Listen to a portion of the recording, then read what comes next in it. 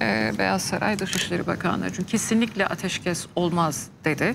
E, çünkü bu Hamas'a yarar gerekçesi de o. Biden böyle yarım ağızlı ilk önce şu rehineleri versinler sonra konuşuruz derken Amerikan devlet sistemi kesinlikle olmaz diyor. Şimdi Hamaney ne dedi ona bir bakalım.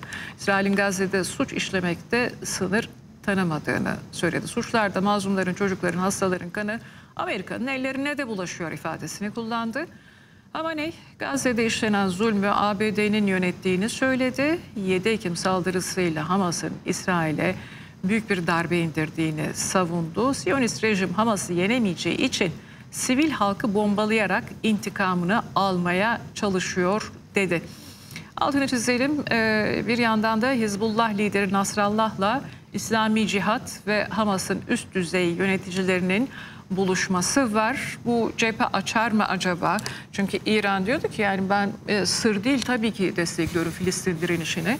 E, ama nihayetinde bu planı da ben yapmadım. Ama inşallah çok başarılı olurlar. Bu planı yapanın ellerinden öperim. Beysi böyle söylemişti, Hamaney böyle söylemişti.